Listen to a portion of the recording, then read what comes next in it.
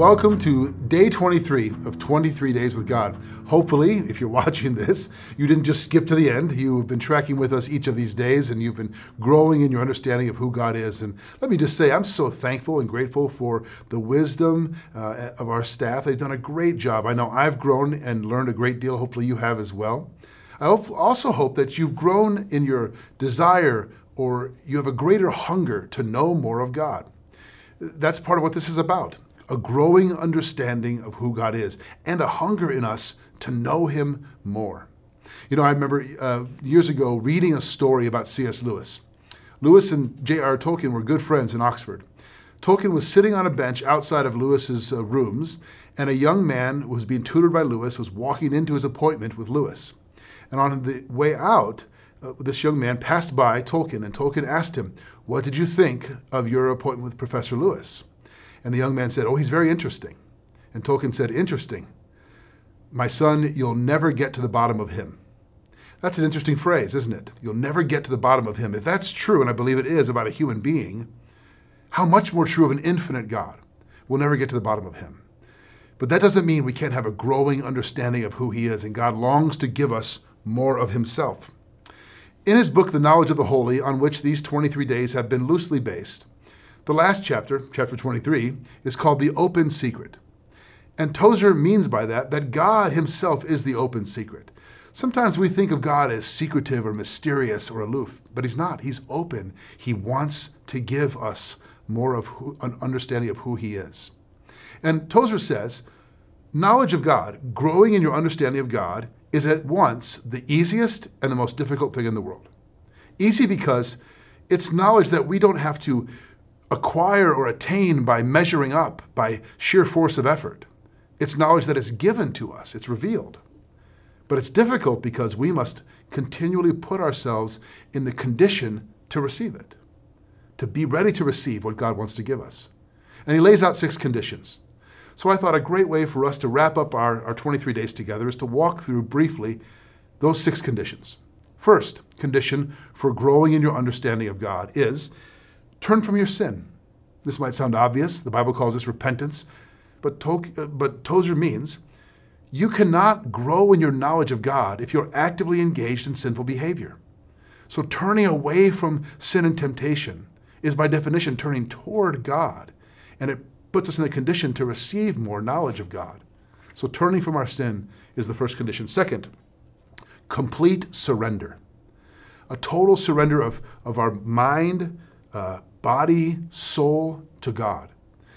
This is relational knowledge we're talking about, and so it requires a full surrender of who we are. Romans chapter 12 says we are to offer ourselves as living sacrifices. This is pleasing to God. And chapter 12, verse 2 says that then we'll be able to test and approve what God's will is. We'll grow in our knowledge of who He is and what He's like and what He wants when we surrender to Him. So stop holding back in certain areas, full surrender. So turn from sin complete surrender. Three, open yourself to the work of the Holy Spirit.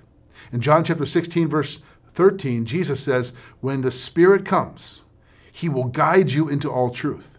Part of the Spirit's job is to be our teacher, to instruct us, to lead us into the knowledge of God. And I think too many of us are resistant to the Spirit's work. So, third condition, open myself to the work of the Spirit who wants to guide me into all truth and knowledge of who God is. Number four, reject the false value systems of the world. Our culture, secular culture in the world, has a very different definition of what truth even is and how it's known. We live in a culture of relativism. Your truth is not my truth, and I shouldn't push my truth on you. Scripture tells us there is one objective, ultimate source, transcendent of truth, above all. So we need to reject the systems of the world if we're going to receive what God wants to give us. And that's, we continually have to deconstruct sort of the false narratives out there in our culture. Fifth, practice the art of loving meditation on the character of God. I like the, the way he, that he says, practice the art of. It takes work. We have to stay at it. Learn to become good and enjoy thinking about God. And that takes time spending time filling our minds with Scripture, taking an aspect of God's character and thinking about it for an entire day, a week, a month, meditating on it, journaling about it, Let that go deep into who we are.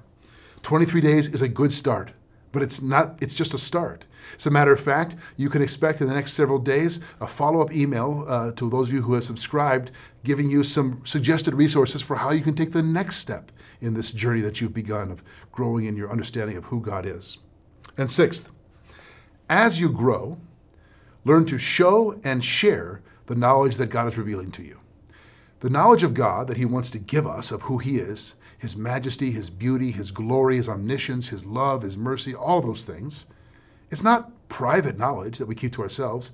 It's meant to be shown and shared, expressed and shared in our service to others, in our love of neighbor, in our evangelistic witness as well. So those are very helpful things to me, are those conditions. Turn away from sin if we're going to grow in our knowledge of God. Complete surrender to Him.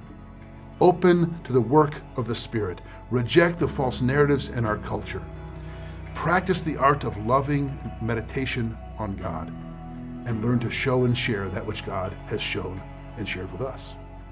Once again, I hope this has been beneficial, fruitful, and helped you grow in your knowledge of who God is, how much He loves you, and what He wants with your life. We, we pray for you regularly and desire for all of us to continue to grow. And as I said, we're going to follow up with you and give you some suggestions on how you can do that. Thanks for being part of this journey with us in 23 Days with God.